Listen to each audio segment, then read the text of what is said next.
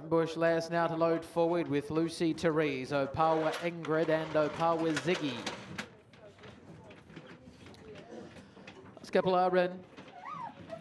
Green light on, the rolls for the first quality today. Set, ready, racing.